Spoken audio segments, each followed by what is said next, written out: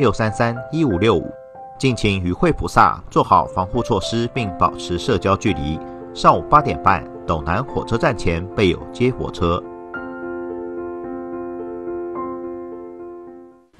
觉照您的佛性般若，欢迎收看生命电视台。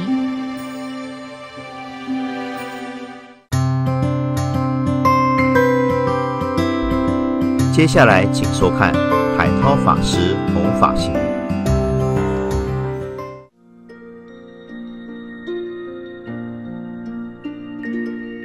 愿世间快乐多过于悲伤，愿世间温暖多过于孤单，愿世间光明多过于黑暗，愿世间和多过于征战，愿世间感恩替代了责难。愿世间谦逊多过于骄慢，愿世间慷慨多过于贪婪，愿世间良善多过于血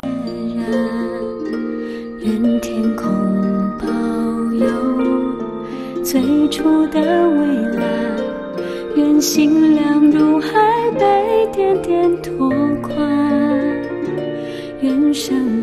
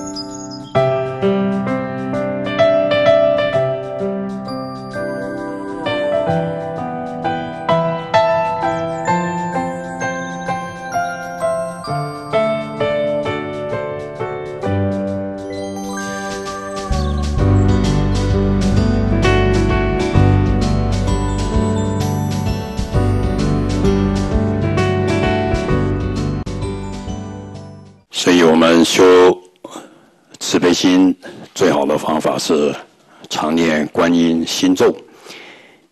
所以我常跟自己说：怀着慈悲心睡觉，怀着慈悲心起床，乃至哪一天怀着慈悲心生病，最后可以怀着慈悲心死掉。将来还有机会怀着慈悲心又来投胎。继续一辈子去慈悲，所以有很多人问我为什么要出家？因为我说我从慈悲心才找到生命的意义。过去我们每个人都是为自己的成功、赚钱、享受在生活，所以当我们听到大乘佛教这些伟大的菩萨，就会觉得自己很自私。所以觉得很惭愧，所以就愿意用慈悲心来过生活。特别有一点，我觉得这个观念很重要，就是说，当我们在念 Om Mani Padme Hum 的时候，那不是你的声音，那是观音菩萨透过你的喉咙念出他救苦救难的声音。所以，当我们念 Om Mani Padme Hum 的时候，我们的眼睛变成观音的眼睛。去看到众生的苦，我们的手变成观音的手，去拥抱救众生。如果能够如此，我们的心也变成观音菩萨的心了。那个时候，我们就跟观音菩萨合为一体，然后呢，去帮助众生。不过，还是讲这句话，就像《密日报》的修行，我常讲，要学观音的救苦救难。必须先承受观音菩萨的受苦受难。再一点，你能够观世间的苦，观世因，帮助众生，基本上来自于观自在。也就是说，你必须要为了消除，为了圆满慈悲，你必须消除我执，得到内心的圆满的平等自在。不然，外在的要去帮助众生的观音的千手千眼就展现不了力量。所以中午仁波切还特别给我讲，智慧跟慈悲是一体的，它不能分开的。所以。有空性人必定大慈大悲，愿意大慈大悲人才能够找到空性，这是一体两面的。所以我想，慈悲的本体是空性，空性表现出来的是大慈大悲，那必须要展现在我们的念六字大明咒上面。就像一个没有月亮的晚上，满地都是黑黑的石头，那你要帮助。这些黑黑的石头就是无名的众生，那唯一的方法是你自己要亮起来。如果在所有的黑色的石头有一颗像水晶的钻石，那每个无名的众生都想要来亲近你，你自然就可以放光给他们。特别我们不分哪一种种族，都很喜欢慈悲的观音菩萨。所以有一句话是。爱人者，众生很爱你。如果我们随时像观音的慈悲，或者像天主教圣母玛利亚的慈悲，是每个人都很想要去接近你。那站在大乘佛教，你为了要帮助众生，一定要让他很愿意接近你、亲近你。那你你必须内在像钻石一样来对他们发光，自然他们就接受你的感化，接受我们的感动。所以，拥有世间多少财富，并不是有钱；拥有慈悲才是最有财富的。也因为慈悲心，你必须，你必定会有世间的福报。你外表再漂亮，也是暂时的。但是有慈悲心的人，像仁波切这样，就很有魅力。请问仁波切漂不漂亮？就像德列莎修女，她说最美的女人就是德列莎修女。所以我经常去菲律宾、印度，我一定去那边跟他们修女修行，他们比我们还精进一样。但是，我想慈悲是没有国界的，没有种族分别的。那特别我们学大乘佛教，我们必须让别人感觉到你是个有悲心的人。这一点各位一定要记住，这是我们的戒律。然后呢，自己要该笑就要笑。该打招呼就要打招呼，你勉强也要要慢慢练习，因为这是大乘佛教的特色。慈悲的敌人是嗔恨心。如果你你佛教说小乘断贪欲，大乘断嗔恚，因为你如果有嗔恚心，舍弃排斥别人，那你就破了菩萨戒，因为对方因为这样而不高兴，他也会舍弃佛法。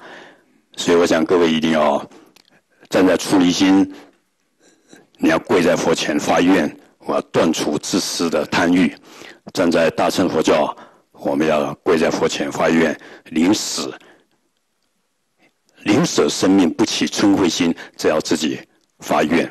所以我常背一句话：佛陀永远转恶为善，相信业报；佛陀永远转恨为爱。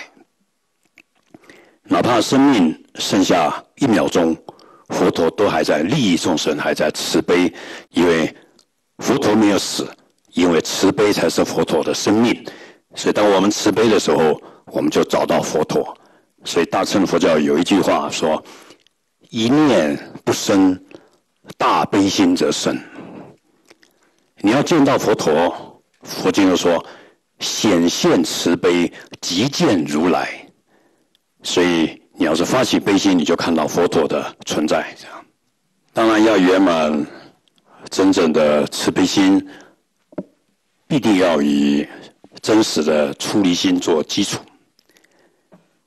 所谓出离心，就是体悟到生命的变化无常，一切的无法控制，无我。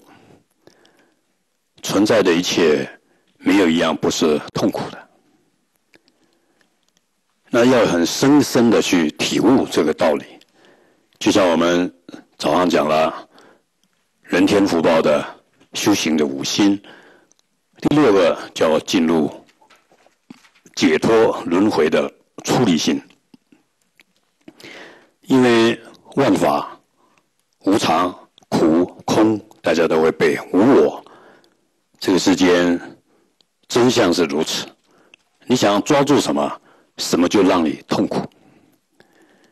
就像我做个比喻，就是说，当我们看到一对年轻人在街上谈恋爱，当然世间人觉得他们很快乐，但是如果你懂得佛法的出离心，那你会觉得，哎呀，他们干嘛这么痛苦了？所以，一个男人在追求金钱、面子、地位，那是一种非常痛苦的事情。有一个比喻，有一位南传的大法师说：“这个苹果有毒，你要吃吗？”所以这个世间会让你痛苦的东西，你为什么要去抓住它？所以虽然我们修了很多善业，会让我们很有福报，不会堕落三恶道，所谓的诸恶莫作，众善奉行，会让我们。脱离痛苦，直到得到一些福报，现世或来世。但是不断的去思维，那你会觉得变化无常是真相，慢慢你就会学会放下。所以放下是根本的修行，也是佛教基本的目的，就是要能够解脱生死。那各位，所以开始要学习，慢慢。折服自己喜欢的，喜欢的就是贪了，不喜欢的就是嗔，搞不清楚了就是乃是自以为是的叫愚痴。所以我们中国人很喜欢把贪讲成什么猪八戒，猪代表贪呢，所以爱生气的人叫沙悟净，沙悟净脸黑黑的不笑了。孙悟空会代表。愚痴猴子，你一定要悟到空。所以用这个《西游记》的三个主角来代表我们人类心上的贪嗔痴。猪八戒代表我们贪欲的身体，好色爱睡觉。猪八戒，沙悟净代表我们的口业，沙悟净会骂人。孙悟空代表我们的意业，意要悟悟到空。那如何得到这个呢？所以给他取名叫猪八戒，要守戒；沙悟净要禅定；孙悟空要智慧。那这样，唐三藏代表我们本来的佛性。那你要找到你本来的佛性，那你要勤修戒定慧，消灭贪嗔痴，净化身口意。那你可以才到印度，终于找到经典。那找到经典干嘛？就是要服务众生，善巧方便，回到中国弘扬真理。那玄奘法师的一个故事，代表一个一个我们修行者的一个模范。所以当然，为了要修大悲心，那我们一定要精进的实修出离心。但是也不能就停在出离心里面而忘了众生苦。我们修这个出离心。放下是为了圆满我们的悲心啊，所以如果没有完全的出离心，你就没办法得到完全的大悲心。所以你要经常的回光返照，到底我现在还放不下什么，或怕什么，或执着什么？就像我以前我有。一个不好是很怕鬼，好像去助念，他们都很认真，还去看那个死亡者分开。哎，现在念一念脸有没有好看一点？我都不敢看啊，因为我一看晚上我回家，嗯，只要眼睛闭起来，他就在你面前一样，我根本没办法。我就只有看脚就已经很不错了。但是我觉得对我来讲，我已经要出家了，而且那时候出家了。那现在这怎么办呢？那当然，如果你这个问题你不自己去面对，谁也帮不了你忙。所以后来我就开始为他们施食，包括做烟供，然后一个人做。后来我就慢慢练习，我可以去坟墓做，可以一个人在大海边做。但是你问我怕不怕？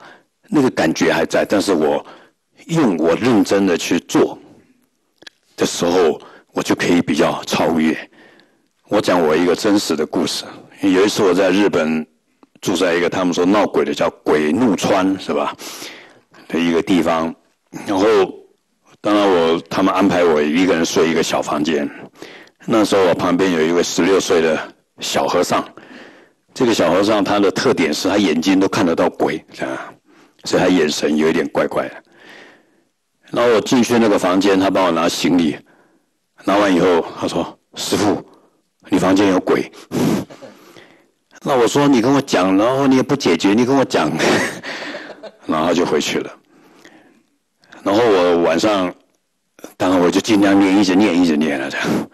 然后后来终于睡着了。但是到凌晨五点，我听到。鬼在哭的声音，很很难受的声音，因为他们说是自杀的鬼。一个女孩子在哭的很厉害。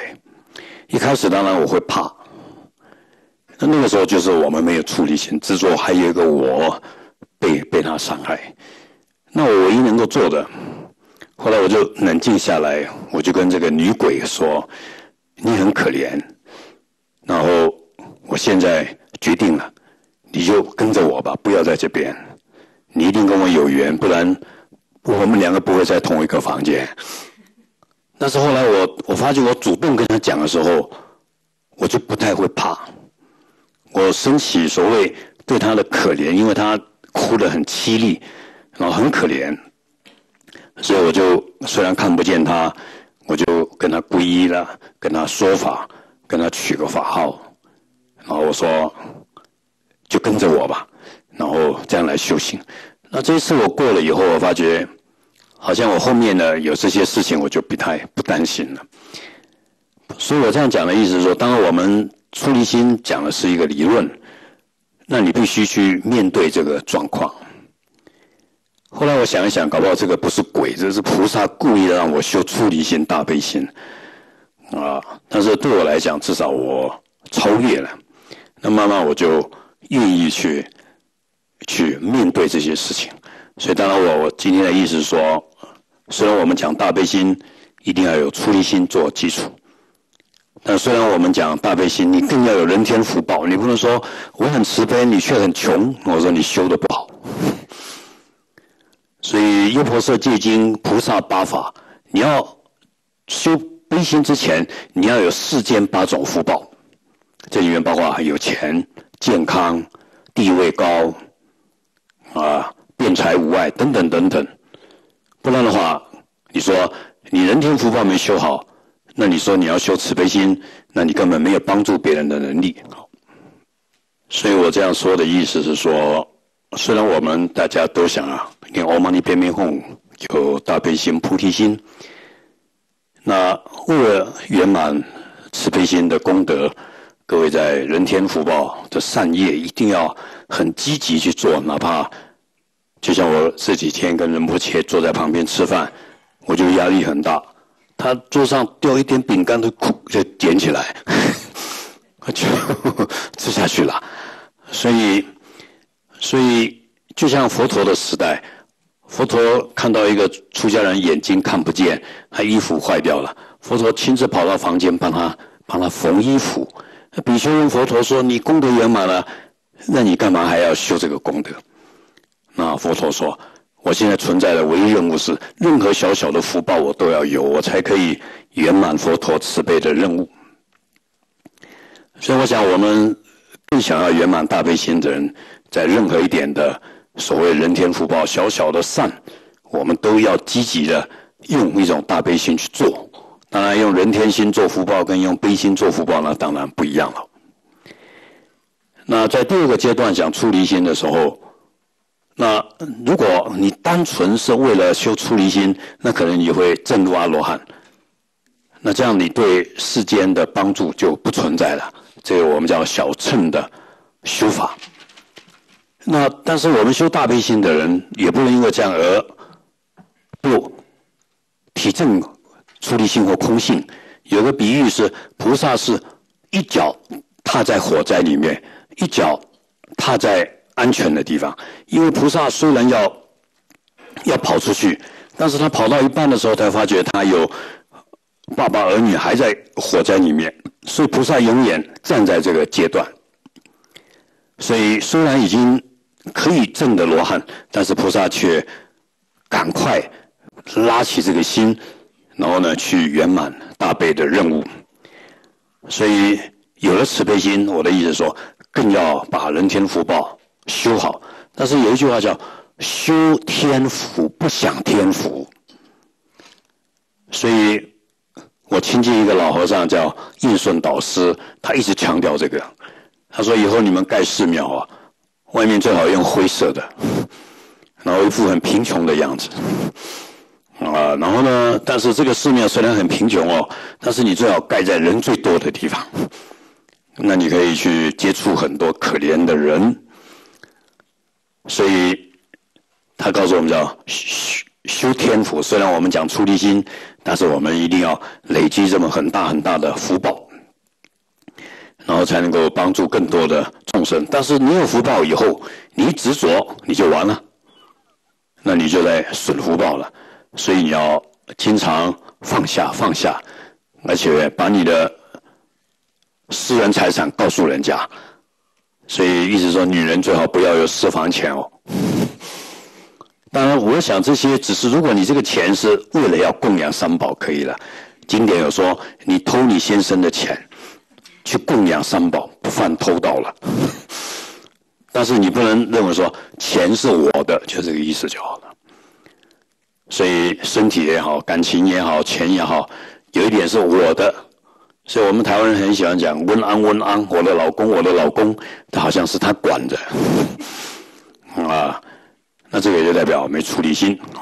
修行，有人很喜欢用莲花。来代表，所以我们叫莲花的心。那有人问我什么意思？我用两句话：一点都不执着，却充满的爱的心。那一点都不执着，就是我们讲出离心。但是虽然放下，却要去爱所有众生。简单的说，不爱自己所要的，但是却去关心众生所要的。一点都不执着，充满了爱。另外两句话，我也觉得我自己很喜欢：身如乞丐，心如黄金。我们身体像个乞丐一样，什么都没有，但是内心充满智慧、慈悲。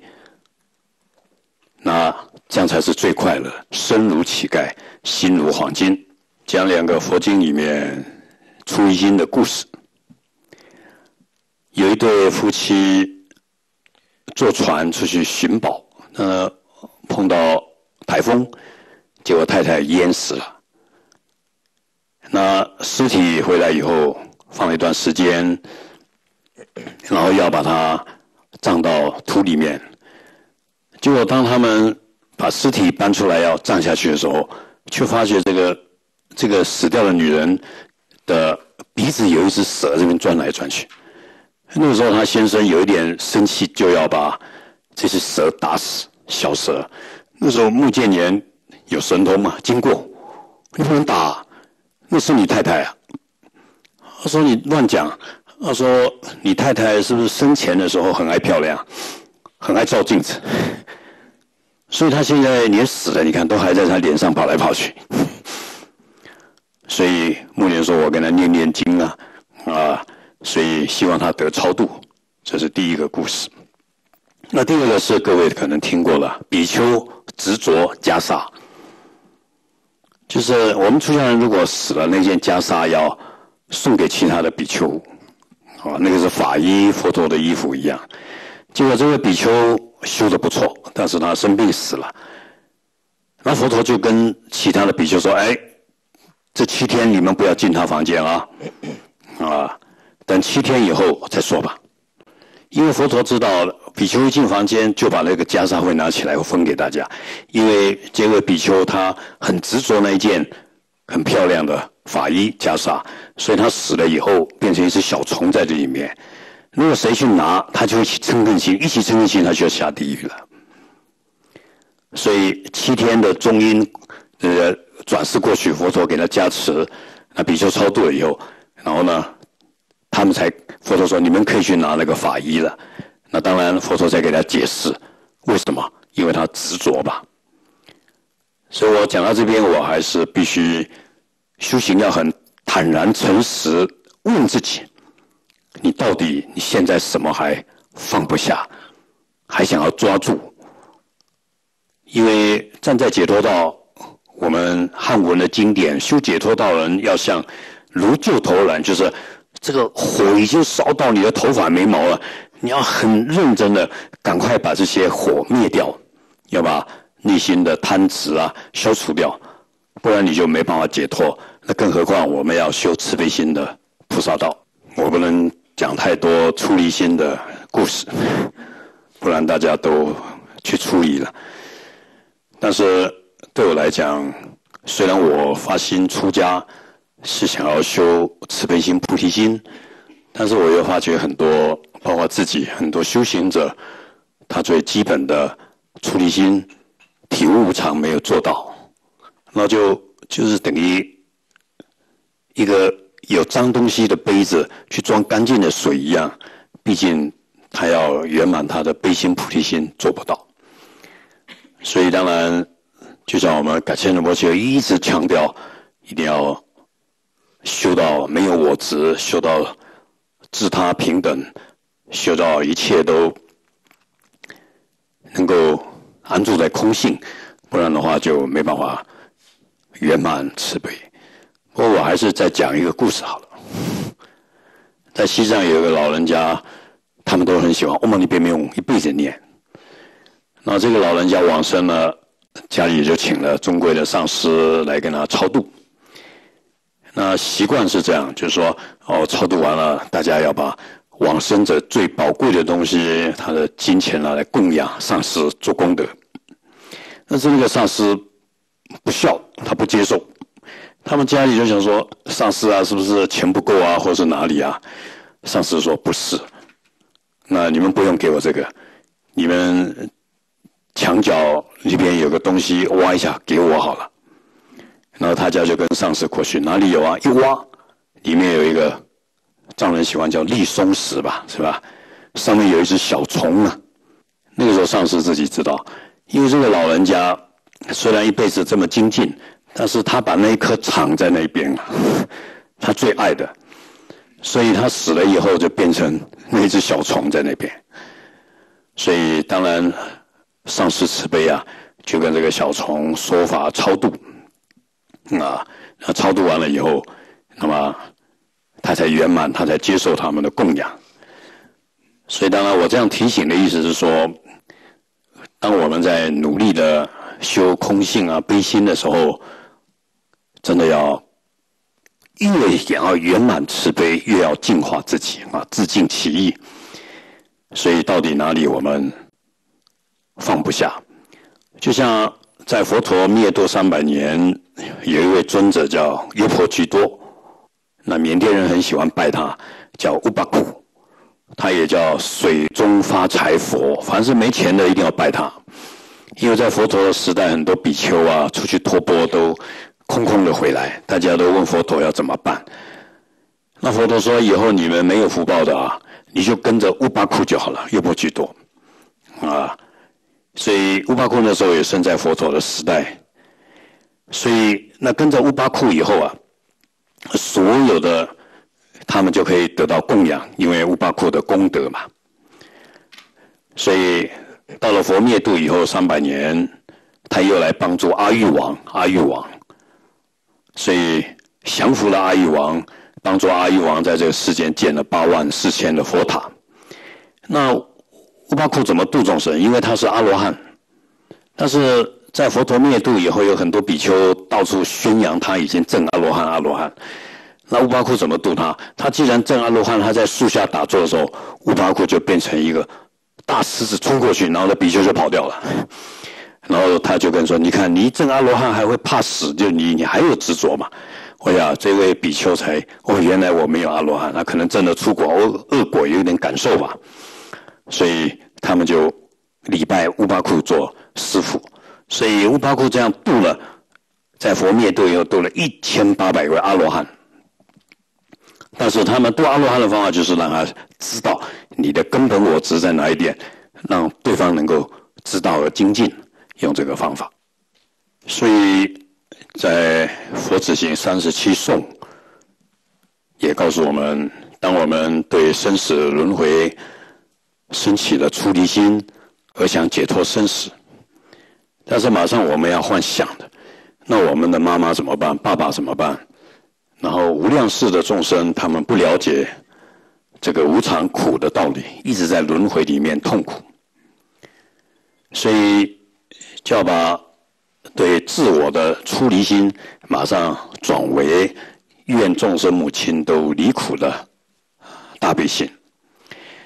当然，就像刚刚各位早上有听到，我要出家，向我的太太，向我的儿子。我们大乘佛教更规定要向自己爸爸妈妈跪下来磕头，要很虔诚的磕头，因为我们已经知道生死很痛苦，很痛苦，但是他们却不知道。但是话又讲回来，就像我对我儿子磕头，我也跟他说：“哎呀，做父亲的，因为意思说男女的欲望、爱情把你生下来，让你要去轮回，这是我们的错，所以我要跟你。”虔诚的忏悔，出家是为了做你的模范吧，啊，所以就像我跟我过去太太也说，我们两个谈恋爱，我让你爱上我也好，生下小孩让你痛苦无量了，所以一方面要有出离心，二方面对所有轮回的众生要有这种惭愧心，而升起大悲心，就像我们对我们的父母。我们没办法在身边一直一直一直孝顺他，但是心里却把父母永远就放在心里面。我去泰国，我觉得他们泰国有一个很好的特点，他们身上一定有佛像，但是佛像的两边这个挂下来，就像这两，一个是爸爸，一个是妈妈的相片。他们永远永远就是说，因为啊，虽然我们在念佛，但是孝顺很重要，所以我们在。我们讲三宝，啊，在缅甸叫五宝。为什么叫五宝？除了佛法僧，再来爸爸妈妈、老师，所以一定要孝顺父母，要尊敬师长，像佛菩萨一样。所以，当我们了解生命的苦，我们必须放下。但是众生都不知道，而且众生都是对我们有恩，像父母一样，所以我们一定要决心去报恩而生起愿他们离苦的大悲心。那为了让众生离苦，你有悲心还不够，究竟就是要成为佛陀。你不成为佛陀，你就没有办法。虽然有悲心，却救不了对方。但是你要救对方，做一个比喻好了，就像一个人被关在监狱里面，然后他知道他外面的爸爸妈妈要被抓去杀了，但是他却没办法去帮助他。为什么？因为如果你升起大悲心，虽然你要成佛，但是你还有我执这个监狱把你关住，你根本出去不了帮助对方。有另外一个比喻，说爸爸妈妈被抓走了，那被敌人抓走了，那你一定要到敌人总部，你才能够救到爸爸妈妈。那请问敌人是谁？那敌人就是敌人总部，就是我们的我执。所以，简单的说，当了我们有出离心，而转成大悲心，而愿成佛的菩提心。那为了圆满这个，如果你没有证入空性，那这个空性也不是个人的空性，而是仁波切说了，众生皆有佛性。你要去体悟到，所有众生对我们有恩，都是父母，他们却具足佛性，他们不知道，所以而去。在大悲心、菩提心实践的时候，又要完全的去思维空性。所以我讲这个道理，我是一直强调不要脱离，就是说，我现在修空性，所以我就放下世俗的福报、出离心、大悲心、菩提心，我先专心来修空性。等我空性得到了，然后我再来度众生，那不行的。一手拉住众生的苦，一手拉住佛陀的加持，但是内心里面却还要保持在这样子绝对无我分别的空性，不然你就没办法得到佛，或者是真正帮助众生。那对我来讲，这个叫一心念佛，叫三昧业。三昧业密续对我来讲叫连续性的，你要从最基本的人天福报，一直到最后，你要全部一把抓。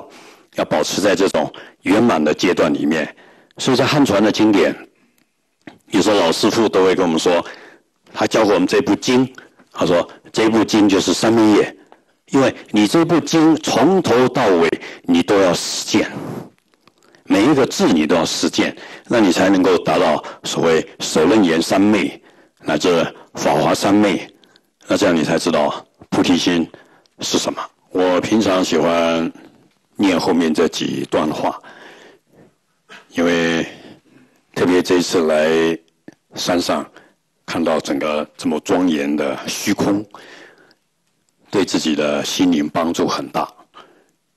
因为我很喜欢念“智慧如虚空”，所以虚空可以包容一切、接受一切，而且变化无常，所以我平常会这样念。慈悲如大海，我们的悲心要像海一样的澎湃；信心如阳光，那对上师、对三宝的信心如阳光，所以这阳光晒到我们的的这种我慈的心，这个冰块就可以融化掉，甚至上师的功德会融入我们心里面。第三句话是。菩提如高山，啊，每一个山都是我们代表坚定不变的为成佛利益众生的菩提心。那为了圆满菩提心，那当然要智慧如虚空，去平等包容接受一切，没有分别。所以经典说什么叫佛？绝对平等叫佛。所以生病也好，死亡也好，有钱也好，分开也好，对我们来讲，它只是一个一个外向，心里面平静的去接受它，智慧如虚空。再来是忍辱如大地。那我想，我们就像土地一样，承载一切，对方丢石头，对方倒水。我们都可以接受，所以在大乘佛教特别重视这句话，叫“忍辱是力量”。虽然我们讲空性、讲悲心，如果没有这个忍辱，那你就没有力量去圆满。那特别我们要修福报，更要有忍辱。再来，精进如风，那就像强风吹过来一样。那我们对所有的教法要一心一意、永不退转的去圆满它。特别如果像各位我们现在年纪慢慢大了，接近死亡了，所以每一分每一秒对我们来讲太重要了，所以要这样的精进。再来，功德如树林。所以，这个世间所有的善业不分大小，我们要努力的广种福田啊，功德如树树林。所以，最后两句话就是：普度诸众生，皆共成佛道。那我想对我来讲很简单，但是我每天都拿这个来禅修，慈悲如大海，信心。如阳光，菩提如高山，智慧如虚空，精进如强风，忍辱如大地，普度诸众生，皆共成佛道。那我想，这才是我们的生命观。更重要的，我们修大乘佛教，要有一大阿僧祇劫的时间，天天在发愿，要把我们每一个你看到的、想到的，都祈愿、蒙难祈愿，他们能够得到更好。就像我看阿底峡的故事，他生下来是一个王子。所以福报很大，但是那个时候他到外面去看，外面穷人很多，所以他就会就会念了。他说：“愿所有人都像我一样，像王子一样住在皇宫里面享受。”这就是一种很伟大的过去式带来一种利他的思想。所以我想各位每天你必须要开车，那你一坐在车上，你就要祈愿所有。开车的人都平平安安到达他快乐的目标。你一穿衣服的时候，你就要祈愿，希望大家都有衣服保暖，而且外表庄严。你喝水的时候要祈愿啊，所以用这个水供养三宝，供养上师。所以，然后呢，自己才喝，喝也没有自己在喝哦，布施给你身上的众生的悲心。所以要把日常生活，特别各位祈愿，经过医院或想到医院，马上要修个药师仪轨也好，祈愿所有人都不要生病，得到福报等等等等。那我们的每一个念头都变成一种愿力。所以经典说，菩萨以愿力做生命。所以释迦牟尼佛因地发五百大愿。阿弥陀佛发四十八大愿，那这地藏王菩萨的无尽愿，然后让我们成为愿力，成为我们的生生世世的生命。所谓的发心或是发愿，就是把自己渺小的心变成对整个世界的愿力。当你肚子痛的时候，那你马上当愿所有众生。都没有肚子痛，都了解肚子痛的因如何去消除，你要把它转化。所以经典说，你每发一个愿，你身上就发一道光。所以阿弥陀佛叫无量光。所以经过学校，各位如果有时间，停两分钟，对整个学校发愿。这些精进的小朋友，愿他们认真读书，将来可以听闻佛法，等等等等。是看到一只狗，你要发愿，愿它。所以我们受菩萨戒有一个戒律：你看到动物，你不为它三皈依、发菩提愿、犯戒，没变成我们的犯戒。所以想到狗，看到蜘蛛，叫愿它皈依三宝，愿它发菩提心。早脱离畜生道，那所以我们每天可以看到、想到太多太多的事情，那要把每一个事情都转为利他的愿力。但是发愿不能光在心里面，所以我们十波罗蜜有一个叫力力波罗蜜，要有力量。你要把这个愿成为一种实际的行为去做，比如。这次来，我看到仁波切都不会怕冷，我冷的要命。我一吹风我就感冒。后来我就昨天我故意问问我们上司说：“哎，这边瓦斯多少钱啊？” 那我要来出钱，因为那个瓦斯哎呀一开晚上都很暖呢。啊，希望我这个钱我来出，以后就换我穿短袖了。你要把它变成一种。因为大乘经典说发菩提心，完了要做的就是深信因果，你要去做。所以我刚才问了，他说这边有三个瓦斯炉，三个还是四个？一个瓦斯炉可以用四个月，一千七百块美金。如果乘以三就五千一百块美金，如果乘以四就六千八百块美金。我自己就发愿，好，以后我每年都要出这个钱，对不对？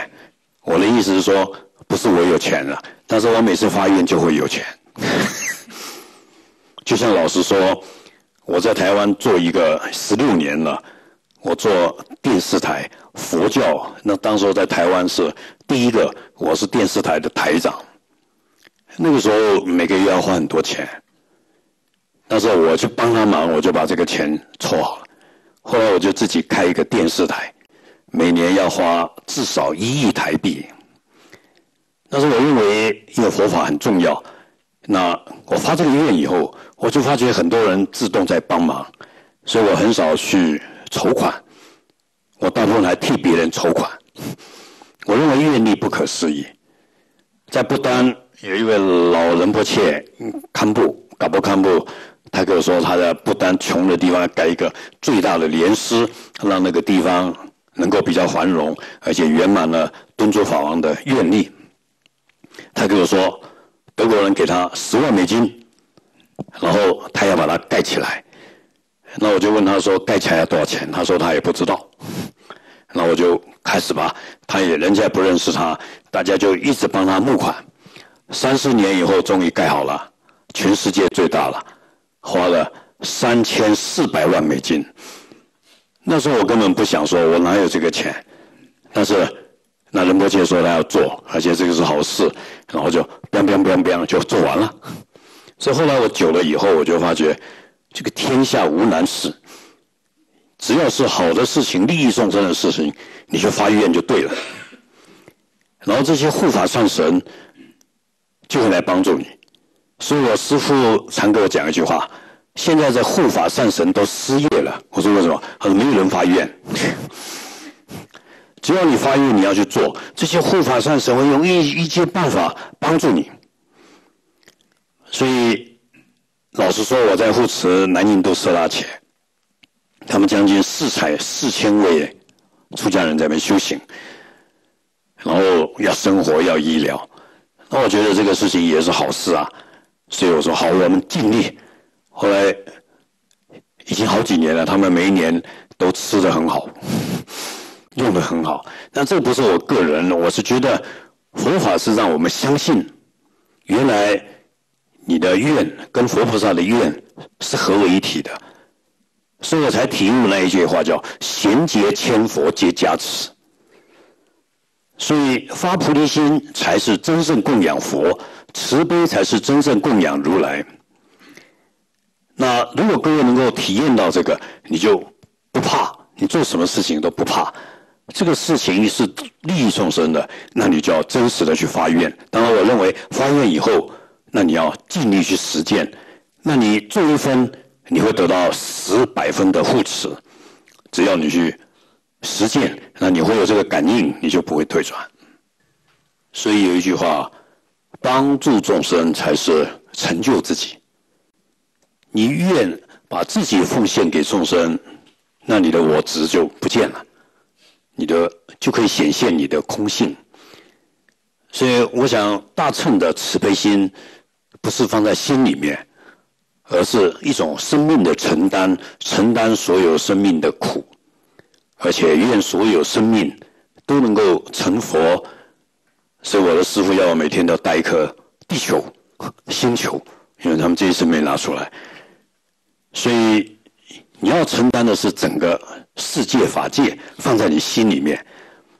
那我想你就不需要特别说，我一定要消除我执，我一定要消除我执，因为你根本就像一个妈妈带三个小孩，她怎么还会去化妆？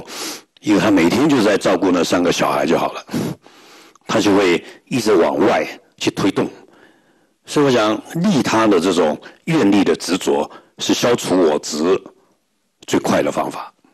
最后，我要来念我们噶千仁波切的书，我个人很喜欢抄写一个字一个字抄这里面的重点，因为对我帮助很大，而且。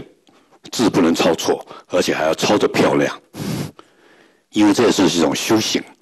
修行眼睛要漂亮，声音要好听，字要漂亮，做菜要好吃，要会穿衣服，不然这修行要干嘛？就像把一个佛堂弄得这么庄严，那个叫修行。所以你要把你自己，包括世界都变得非常美，非常有效率。那佛陀说抄经很重要，所以下回我我现在抄了二十几章，一有时间，下回我把原稿会供养仁波切，然后我已经把它印成我们这次洛杉矶有寄过来，就是感谢仁波切的慈悲与智慧，旁边还有我的相片，然后就，但是我现在这样讲的意思，我负责中文，各位负责英文。所以我已经把它浓缩了，那各位又把它翻成英文，然后我们就推广到全世界，让他们都有机会听到一些慈悲的法语，很重要。第一句话，整个佛陀的法教，就是为了减少自我的中心、自我中心和我执，这样会带来自己跟一切众生的快乐。我们必须深切祈愿。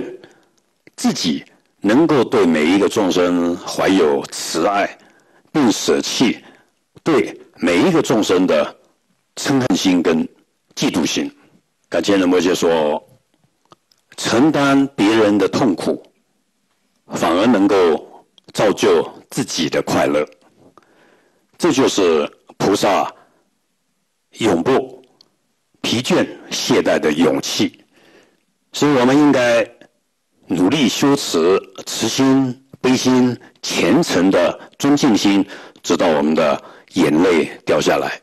仁波切说：“世界上最珍贵的东西就是慈爱。”所以，当我们深切的去思维六道众生的处境，并且真正认知到投身于六道就是一种痛苦的本质。则毫无疑问的，我们就将能够升起大悲心，由大悲心而升起菩提心。所以菩提心乃是解脱痛苦最殊胜的方法，而且能够让凡夫不清净的身体转变成为圣者的黄金之相。我念最后一句，时间到了。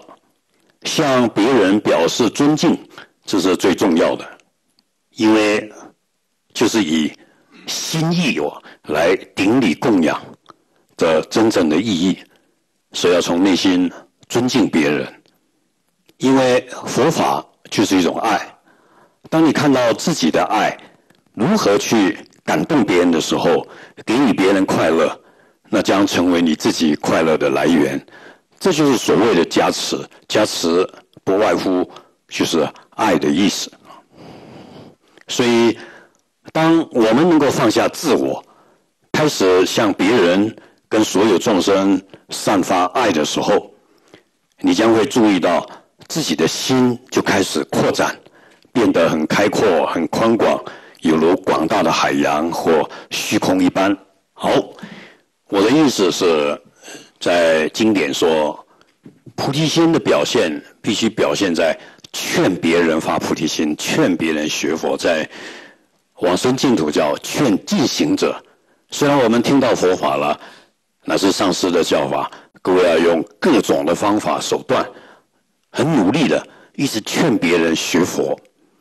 那这样你就会消除我是，可以累积很大的资粮。谢谢大家。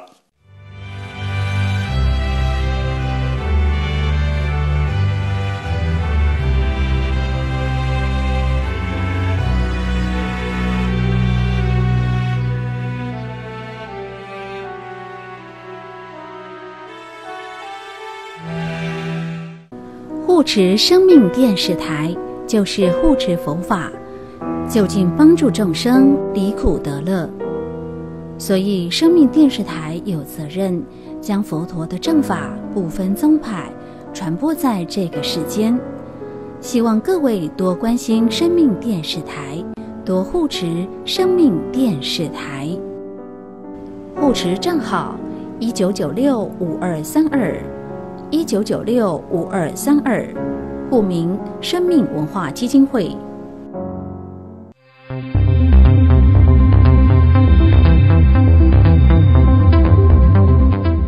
大家好，我是交通部观光局局长张习聪。防疫礼数提供民众安心隔离与检疫的场所，请入住民众一起来配合防疫管理措施。入住防疫旅宿前，请主动出示居家检疫或居家隔离通知书。入住期间非紧急状况，请不要离开房间，并请自行清洁房内环境，将垃圾打包绑好后放置于房门外，不可要求防务人员入房打扫。提醒大家，入住期间如果需要协助，请以电话联系防疫旅宿人员。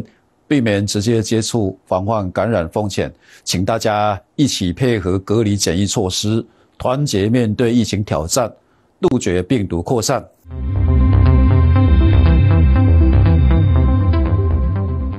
这是佛陀的心愿，这是菩萨的心愿，只要不断弘扬佛法，就会有不需要多少年，不畏惧路途多遥远，只要佛法尚在人间，世界有一天会改变。再来开咽喉，他们这些孤魂野鬼，嘴巴吐火啊，身体冒火啊，然后呢，现在各位把水米拿起来，我们要点水。而且每一滴水，各位都要观想啊，水米要打开，每一滴水都变成一个太阳的、月亮的光，然后这个光一照下去，那些地狱道来的、鬼道来了，身上的流血啊、啊火啊，通通消除掉，清凉，喉咙各个打开，哎呀，他几百亿年那个喉咙都在吐火，今天你让他不吐火了，打开了，非常慈悲啊，所以各位来念一次，嗡。波波地里，切多里，单他一朵，然后就点水，啊，这里点水不是这个水不是在我们操场里面，到了英国，到了北极地狱恶鬼城畜生道他方世界啊，你你要这样观想这个光，骗一切处啊，他们身上的痛苦就消除了。来，开咽喉。Om Bom Bom Dili Chetoli Danda Ye Loye Om Bom Bom Dili Chetoli Danda Ye Loye Om Bom Bom Dili Chetoli Danda Ye Loye Om Bom Bom Dili Chetoli Danda Ye Loye Om Bom Bom Dili Chetoli Danda Ye Loye Om Bom Bom Dili Chetoli Danda Ye Loye Om Bom Bom Dili Chetoli Danda Ye Loye Om Bom Bom 利，达那耶多耶。嗡波波地地切多利，但他也多也。好，水米先放地上，大家太慈悲了。恶鬼道是天天被火烧，特别肚子饿他就烧，走路他就冒火，但他不会死。我们人烧了还会死，他不会死。啊，他就是一百最最短一百七十五万年，天天在被火烧，你看他多痛苦。然后突然有人让他凉快了。突然有人让他喉咙打开，可以吃东西了，你说他不跪下来行吗？啊，他会跟你感恩呐，谢谢你啊啊！所以念这个开咽喉咒有什么功德？我们念一下第十六页，希望大家多点水，念开咽喉咒，有十种功德。来，功德一，毒药不能中；二，毒蛇不敢蛰；三，包障不能害；四，王冠不敢称。五众人皆爱敬，六天龙常随护，七衣食悉丰足，八颜貌端正，九永离毛数位，十不受三徒生。啊，所以愿大家慈悲啊！不管你用什么水，只要手上有水，甩一甩。要喝水之前滴几滴出去啊！你不念咒没关系，有悲心啊！愿你们清凉啊，得到甘露水。二十四小时修慈悲心，啊，你这样做以后，事实上慈悲就有福报。你不要为了福报去修，自然无法避免福报，永远不会怕鬼，不受啊。所以永离毛数位，你就不会怕。你越慈悲，就越不会怕。养过狗的人就不怕狗，因为你对他慈悲过啊。而且不受伤徒生，而且有钱，而且外表漂亮。而且不会中毒、被砍、被杀，地水火风都不会伤害你啊！因为慈悲嘛。